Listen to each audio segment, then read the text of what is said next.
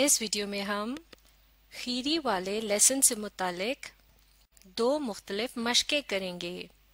चलिए मिलकर पढ़ते हैं कि इस पहली मशक में हमें क्या करना है। आप भी पढ़िए।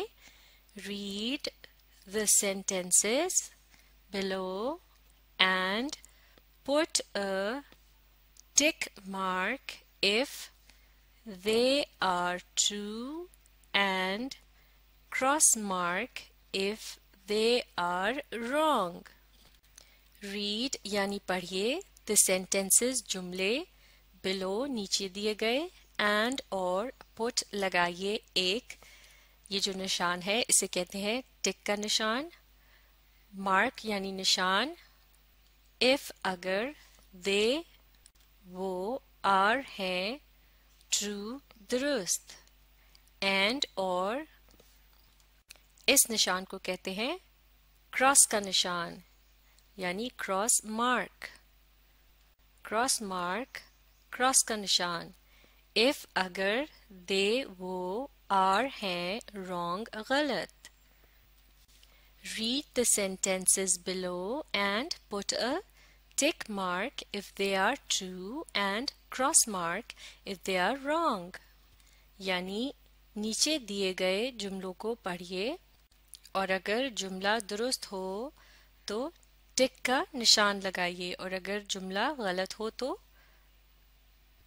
क्रॉस का निशान लगाइए। अब यहाँ पर एक एग्ज़ाम्पल दी गई है, यानी मिसाल, जिसमें ये बताया जा रहा है कि इस मश्क में हमने क्या करना है।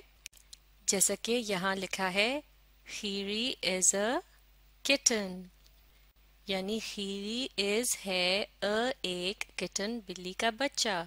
खीरी इज़ अ किटन यानी खीरी एक बिल्ली का बच्चा है, और ये बात दुरुस्त है तो इसके सामने लगा है टिक का निशान, यानी टिक मार्क अब अगला जुमला पढ़ते हैं।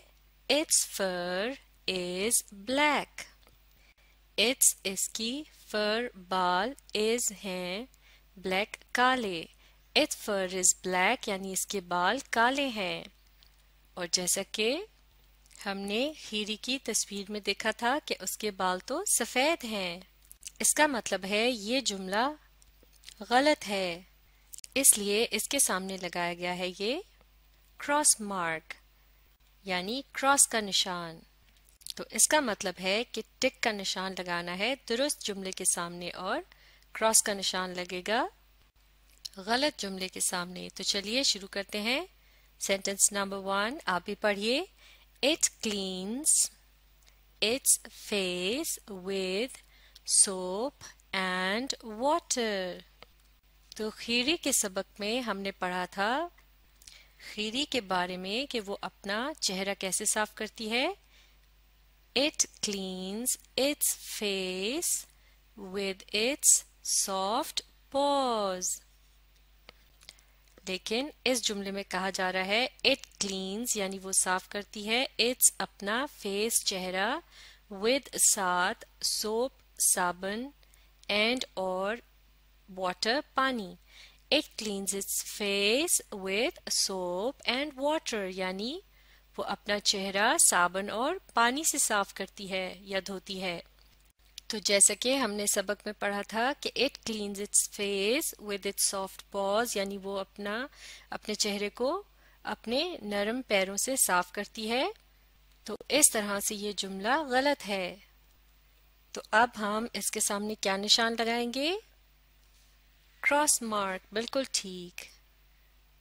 क्रॉस मार्क चलिए अब पढ़ते हैं अगला जुमला number two it sleeps on a mat it वो स्लीप्स सोती है ऑन ऊपर अ मैट यानी मैट पर. It sleeps on a mat वो मैट के ऊपर सोती है.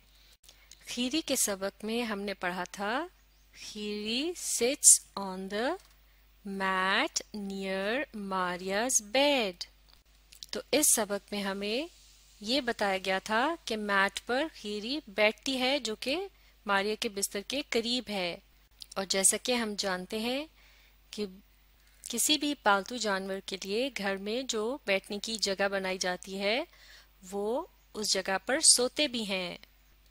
तो इस तरह से हम ये कह सकते हैं कि ये जुमला दुरुस्त है। It sleeps on a mat तो अब हम इसके सामने लगाएँगे एक टिक का निशान। It sleeps on a mat यानी वो मैट पर सोती है।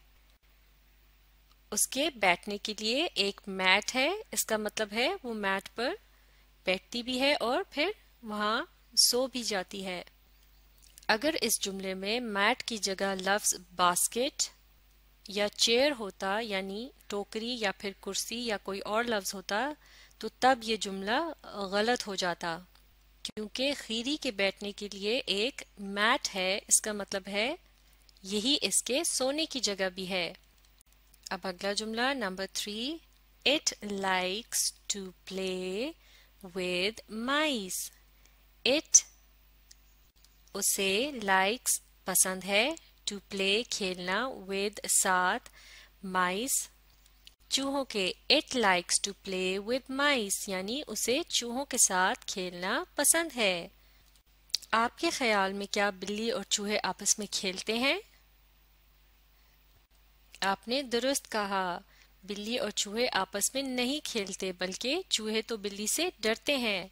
जैसा कि इस लेसन में भी हमें बताया गया था। Kheri keeps mice away from the house. यानी खीरी चूहों को घर से दूर रखती है, क्योंकि चूहे उससे डरते हैं। तो घर से चूहों को भगाने के लिए भी अक्सर बिल्लियों को पाला जाता है। तो इस तरह बिल्ली चूहे की दुश्मन होती है। It likes to play with mice ये जुमला होगा। गलत तो इसके सामने क्या करेंगे? कौन सा निशान लगाना है? क्रॉस मार्क तो इस तरह ये मश्क मुकम्मल हो गई है। चलिए अब इस दूसरी मश्क के मुतालिक पढ़ते हैं कि हमें क्या करना है। कंप्लीट द सेंटेंसेस कंप्लीट यानी मुकम्मल कीजिए द सेंटेंसेस जुमले। कंप्लीट द सेंटेंसेस यानी जुमलों को मुकम्मल कीजिए। एग्ज़ाम्पल यानी मिसाल के तौर पर मारिया इज़ अ गर्ल यानी मारिया एक लड़की है। यहाँ खाली जगह पर गर्ल का लफ्ज लिखा गया है और इस तरह इस जुमले को मुकम्मल कर दिया गया है। हमने भी इसी तरह से खाली जगहों को पुर करना है। तो चलिए शुरू करते हैं। पहला जुमला number one blank is a kitten blank is है अ एक किटन बिल्ली का बच्चा। तो यहाँ इस सबक में बताए जाने वाले बिल्ली के बच्चे के मुतालिक बात हो रही है कि वो एक बिल्ली का बच्चा है और यहाँ हमने इस खाली जगह पर उसका नाम लिखना है। तो इस सबक में बिल्ली के बच्चे का क्या नाम था? हीरी बिल्कुल ठीक। इसे लिखने का तरीका सीखते हैं। सबसे पहले कैपिटल के इसके बाद स्मॉल एच बाकी लेटर्स भी स्मॉल में लिखने हैं।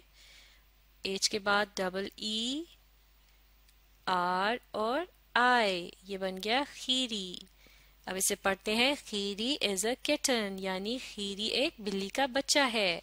अब अगला जुमला number two it eats blank तो इस लेसन में हमें बताया गया था कि Maria gives it milk and fish कि मारिया उसे दूध और मछली देती है। तो इस तरह से खीरी दूध पीती है और मछली खाती है।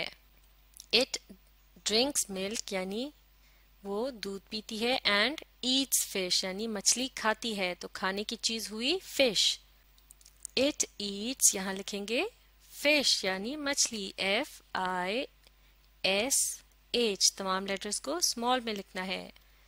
क्योंकि ये एक कॉमन नाउन है, यानी आम सा लफ्ज है और ये जुमले के बीच में आ रहा है।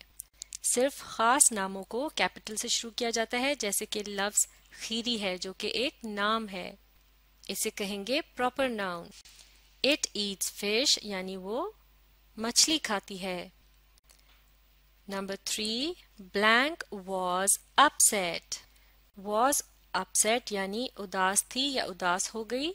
तो खीरी के सबक में कौन उदास हो गया था? मारिया वॉज़ अपसेट क्योंकि एक दिन जब वो स्कूल से वापस आई तो खीरी अपने मैट पर नहीं थी। तो कौन अपसेट हो गया था या उदास हो गया था? मारिया। यहाँ लिखेंगे, मारिया इसे भी कैपिटल एम से शुरू करेंगे क्योंकि ये इस जुमले का पहला लेटर है। इसके अलावा ये एक प्रॉपर नाउन भी है, यानी खास नाम है। M A R I A Maria was upset यानी मारिया उदास हो गई। अब अगला जुमला number four Khiri was not on the blank Khiri was not Khiri नहीं थी ऑन द ऊपर, कहा? खीरी कहाँ बैठती थी? मैट पर, बिल्कुल ठीक। तो यहाँ लिखेंगे on the mat M A T mat अगला जुमला number five Maria blank outside to look for blank Maria blank outside बाहर टू लुक देखने फॉर लिए। यहाँ ये बताया जा रहा है कि मारिया खीरी को ढूँढने के लिए बाहर चली गई। जाने के लिए जो लफ्ज इंग्लिश में इस्तेमाल होता है वो है went W E N T went Maria went outside यानी मारिया बाहर चली गई टू लुक फॉर देखने के लिए किसको ढूंढ रही थी वो? खीरी को। तो यहाँ लिखेंगे खीरी। और इसे हमने कैपिटल के से शुरू किया है, क्योंकि ये प्रॉपर नाउन है, खास नाम है। बाकी लेटर्स को स्मॉल में लिखना है। के के बाद एच फिर डबल ई आर और I Maria went outside to look for Khiri, यानी मारिया खीरी को ढूँढने के लिए बाहर चली गई। अब आखिरी जुमला number six she found Khiri beside the blank और हमने खीरी के सबक में पढ़ा था कि मारिया ने उसे कहाँ से तलाश कर लिया? बिसाइड द लेक यानी तालाब के, माफ़ कीजिएगा, झील के किनारे। तो अब इस खाली जगह पर क्या लिखेंगे? Beside the lake L A K E lake यानी झील. She found Khiri beside the lake यानी उसने खीरी को झील के किनारे तलाश कर लिया. या फिर यूँ भी कह सकते हैं कि खीरी उसे झील के किनारे मिल गई. झील के किनारे यानी झील के बिल्कुल पास. तो इस तरह ये मश्क भी मुकम्मल हो गई है। अब आप इस वीडियो को रिप्ले कीजिए और इसके साथ साथ पढ़ने और लिखने की कोशिश जारी रखिए।